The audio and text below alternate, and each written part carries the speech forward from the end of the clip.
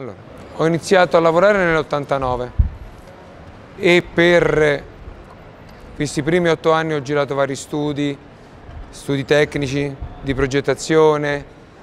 ho fatto esperienza sia di progettazione che di cantiere, ho fatto tutto quello che serve per poter diventare un architetto, speriamo di esserlo diventato. Dopodiché ho avuto la malaugurata idea di, insieme a un mio amico bravissimo al computer, perché io ancora oggi progetto a, con la matita e con la china, perché il computer un, per me è un elemento di verifica e abbiamo aperto questo studio nel 97. Nel 97 piano piano siamo stati fortunati, sono stato fortunato perché subito ho riscontrato e ho avuto la, la fortuna, come, dico, come ho detto, di avere subito dei clienti abbastanza importanti che mi hanno fatto fare cose, cose gratificanti e anche, perché no, economicamente vantaggiose.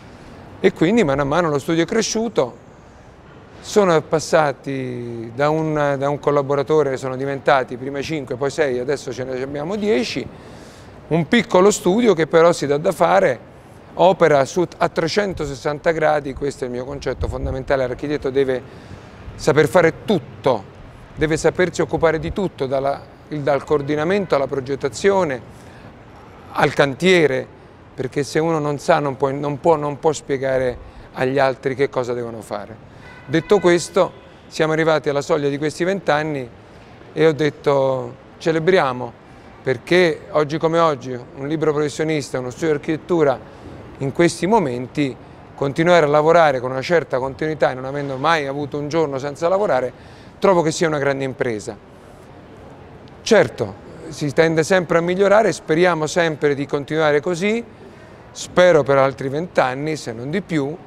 e devo dire che sono molto contento di quello che ho fatto, sono, devo dire, molto orgoglioso di quello che ho fatto, sono chiaramente figlio di architetti, nipote di ingegneri architetti e spero che mio padre, che non c'è più, e, che, e tutti quelli che mi hanno preceduto siano orgogliosi di me. Con questo vi ringrazio.